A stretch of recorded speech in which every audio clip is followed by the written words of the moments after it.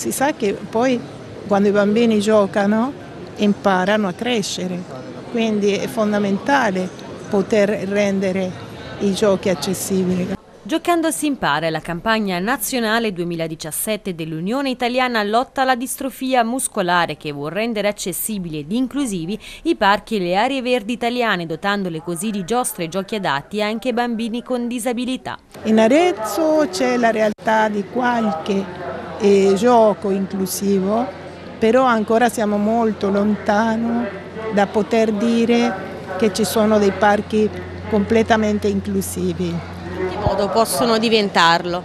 Allora, intanto tenendo conto dell'accessibilità al parco stesso, quindi eh, sollevando la situazione dei gradini e mh, facendo degli scivoli per poter eh, arrivare bene con una carrozzina, ma poi eh, ci sono dei veri giochi tipo altalene, dondoli, che sono già apposta creati per bambini con difficoltà motoria.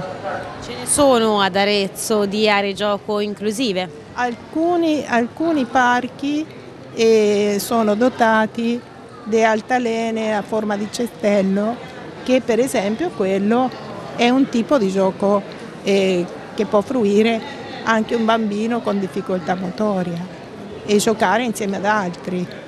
La sezione aretina in occasione della giornata nazionale dell'Unione Italiana lotta alla distrofia muscolare sarà sino al 17 aprile dalle 9 alle 13 e dalle 15 alle 19 in piazza San Jacopo per raccogliere fondi per rendere i parchi gioco accessibili a tutti i bambini. Noi ora ce la stiamo mettendo tutta per cercare di raccogliere il più possibile perché in Arezzo ci sia e altri parchi proprio con con dei giochi adatti.